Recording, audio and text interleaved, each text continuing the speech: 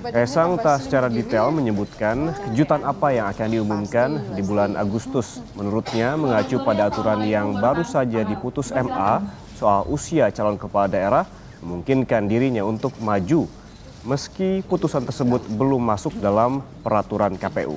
Sebelumnya, sosok Kaisang muncul dalam poster Cagup Jakarta bersama ponakan Prabowo Subianto, Budi Satrio Jiwandono. ya awas hati-hati hati-hati hati-hati.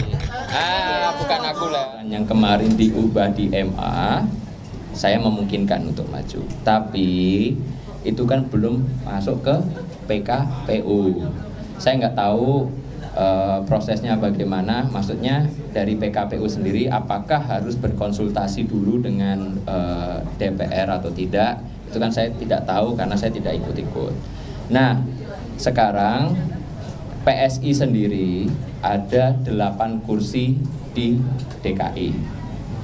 Jadi kalau kita lihat sewajarnya PSI bisa mencalonkan tanya saya maju atau tidak tunggu kejutannya di bulan Agustus. Ya, dan kita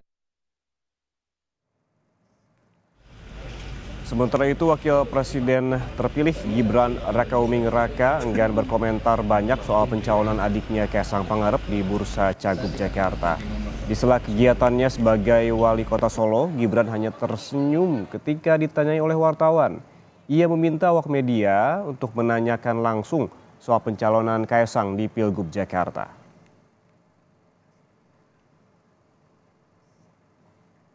Kaisang aja ya untuk untuk pilgub dan lain-lainnya. Hmm? Eh, tanya tanya Kaisang, tanya Kaisang.